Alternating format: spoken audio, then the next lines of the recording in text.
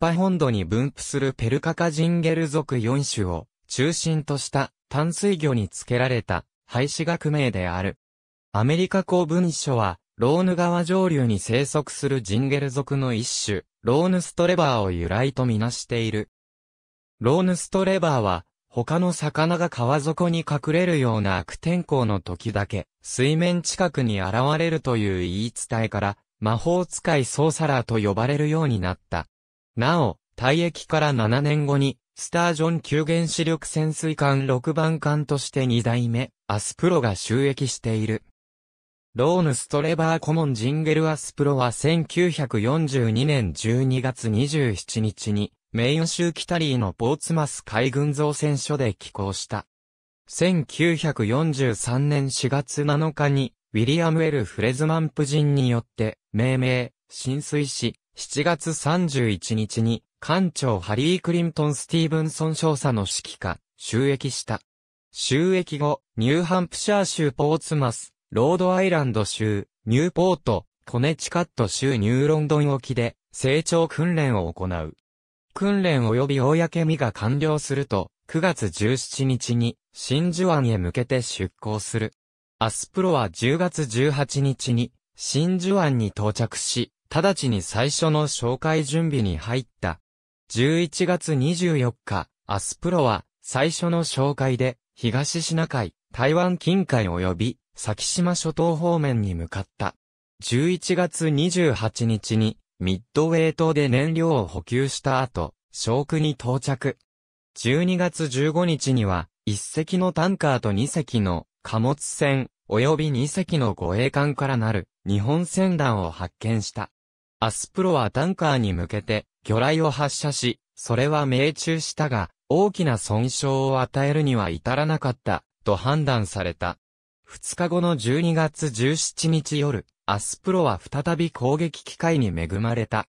輸送船15隻、護衛艦2隻で編成された第121船団を発見し、アスプロは22時26分に大型タンカーとそれに隣接して航行している貨物船に完備発射管を向け、魚雷を発射。魚雷はヒスズマルに2本が向かってきたが回避された。護衛の駆逐艦潮風が反撃に出て、爆雷を20発投下したが、アスプロは逃げ切ることができた。アスプロは魚雷を1本だけ残してショークを徹した。1944年1月1日、アスプロは39日間の行動を終えて、ミッドウェー島に帰島。後に、真珠湾に開港された。アスプロは3隻25,600トンの戦果を上げたと主張したが、戦後の調査ではいずれも認定されなかった。ところで、スティーブンソン艦長は、この紹介中に目の病気を患ってしまい、軍務に支障が出るようになった。H.C. スティーブンソンは帰島後に目の検査を受け、その結果、海上勤務から退くことを命じられた。スティーブンソン艦長は、後任艦長として弟である、ウィリアム・ A・ スティーブンソンを推薦。この要望は受理され、W.A. スティーブンソンは1月15日付で、アスプロ艦長に着任した。2月3日、アスプロは2回目の哨戒で、トラック諸島方面に向かった。2月15日、アスプロは、日本海軍の大型の潜水艦を発見。長い追跡の後に、22時23分に4本の魚雷を発射。魚雷は、イ43に命中し、乗組員は、イ43が爆発を起こし、艦首を上げて沈没する光景を見た。2月17日には、対戦攻撃を受けたが、被害はなかった。3月4日には、平安丸型と目された大型船を発見し、魚雷を発射。命中によるものと考えられた爆発は、アスプロを激しく振動させた。しかし、この船を沈めることはできなかったと判断された。3月28日、アスプロは54日間の行動を終えて、真珠湾に帰島した。4月22日、アスプロは3回目の紹介で、パラン方面に向かった。4月26日に、ミッドウェー島で給油した後、小区に到着。5月14日、アスプロは、北緯08度55分統計133度42分、北緯8.917度統計133.700度、8.917-133.700のパラオ北北西190キロ地点で3隻の護衛艦に囲まれた2隻の貨物船からなる輸送船団を発見。5時54分に最初の目標に向けて魚雷を発射し、魚雷は宮山丸の船尾に命中。同時に、ボーフィンも宮山丸を攻撃した。宮山丸は8時47分に沈没していった。アスプロはなおも、船団を追跡。翌15日未明に、再び攻撃を仕掛け、ジョグジャ丸を撃沈して、船団を撃滅した。その後、アスプロは、フリーマントルに向かった。6月16日、アスプロは54日間の行動を終えて、フリーマントルに帰投した。7月9日、アスプロは4回目の紹介で、南シナ海に向かった。7月16日に、ダーウィンに寄港して給油した後、小区に進んだ。7月19日、アスプロは、ルソン島西岸で4隻の中型貨物船と5隻の護衛艦からなる輸送船団を発見し、5時45分に魚雷を発射した。やがて爆発音が聞こえ、アスプロは一隻を撃沈し一隻に損害を与えたと判断したが、実際の戦果はなかった。7月28日、アスプロは、北緯17度33分統計120度21分、北緯17.550度統計120.350度、17.550-120.350の地点で、一週間前にこの地に座礁した特設砲艦北京丸を発見した。アスプロは、身動きが取れない北京丸に向けて魚雷を発射し、命中。3度の爆発に続いて、中央部から炎上し、右舷側に倒れ、やがて前線が火に包まれた。一週間後、同じ場所を航行したアスプロは、喫水線あたりに二つの大きな穴を開けて、残骸と化した北京丸を目撃した。その後、8月6日には2隻の貨物船を発見して10時15分に魚雷を発射。翌7日には12隻の輸送船団を攻撃し、発射した魚雷は、大型貨物船に命中したと判断した。アスプロは、この紹介で4隻19,500トンの戦果を上げたと記録した。しかし、ヒガの記録が合致したのは、北京丸撃沈だけだった。8月18日、アスプロは41日間の行動を終えて、フリーマントルに帰投した。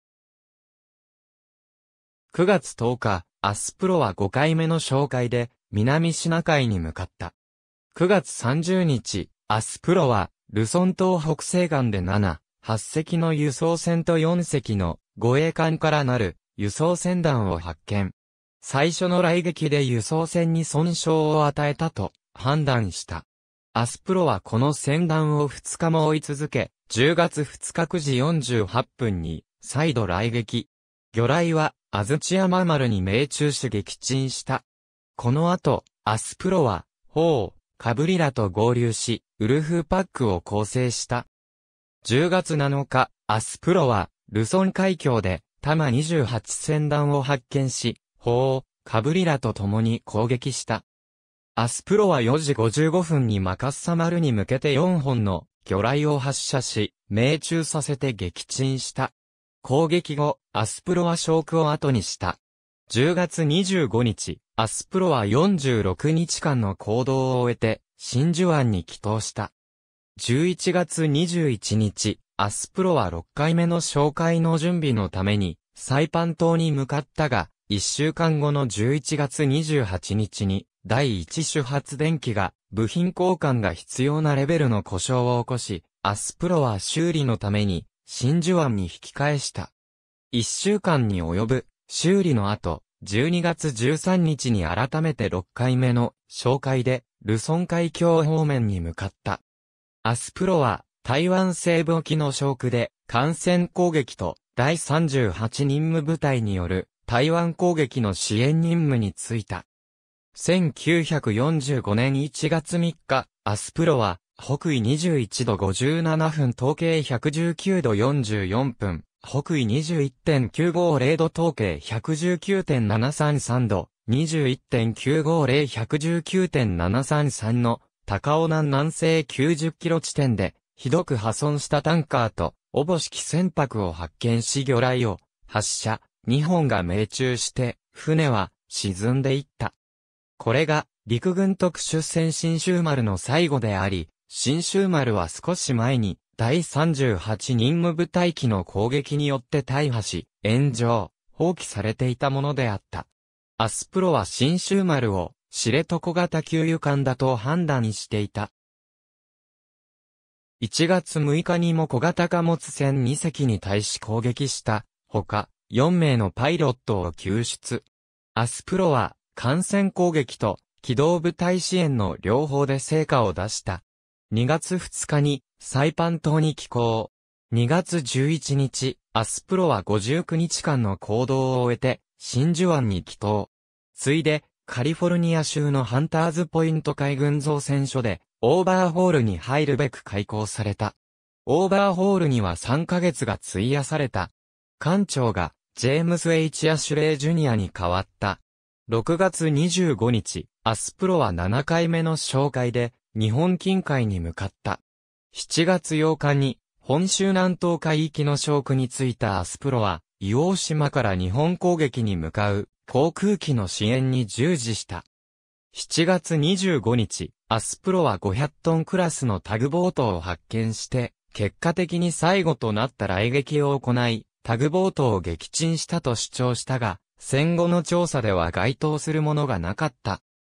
8月3日、アスプロは B-17 と PB4Y-2、プライバティアの支援のもとに、相模湾の奥深くに侵入し、日本機の妨害をかわしつつ撃墜されたパイロットを救出した。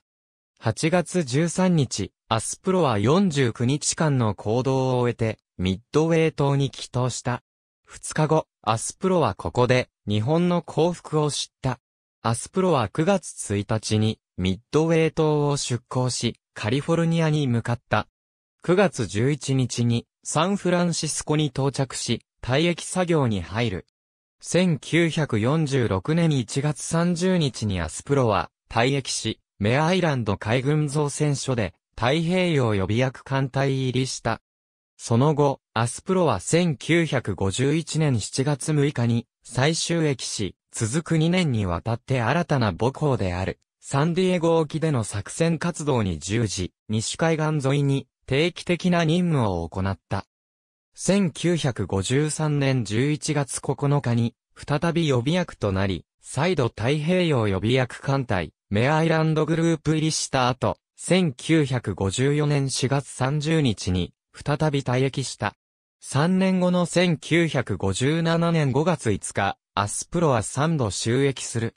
成長を完了すると6月8日に艦隊に合流し、西海岸沿いで様々な部隊での任務を再開した。1959年には、クリフ・ロバートソン主演の映画、バトル・オブ・ザ・コーラル・シーに登場した。映画の一部は、アスプロの艦内で撮影された。その後、同年中旬には、西太平洋へ展開した。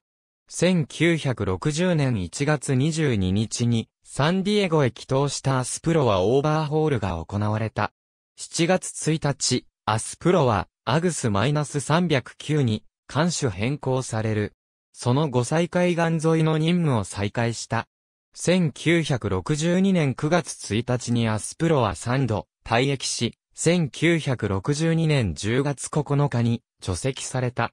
その後、1962年11月16日にサンディエゴ沖で標的艦としてポモドンによって撃沈された。アスプロは第二次世界大戦の先行で7個の従軍聖賞を受賞した。ありがとうございます。